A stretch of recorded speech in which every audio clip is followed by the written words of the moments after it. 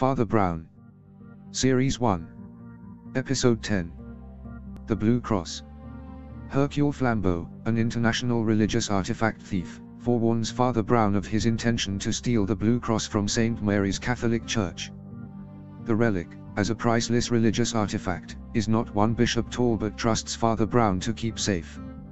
Father Brown, ignoring both Bishop Talbot and Inspector Valentine, decides to preempt Flambeau by taking the Blue Cross on a train journey away from Kembleford.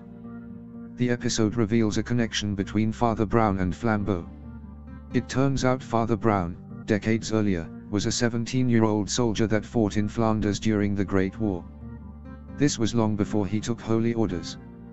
The Ian Barber directed Father Brown episode The Blue Cross, originally hit television screens in the British Isles on Friday, the 25th of January, 2013.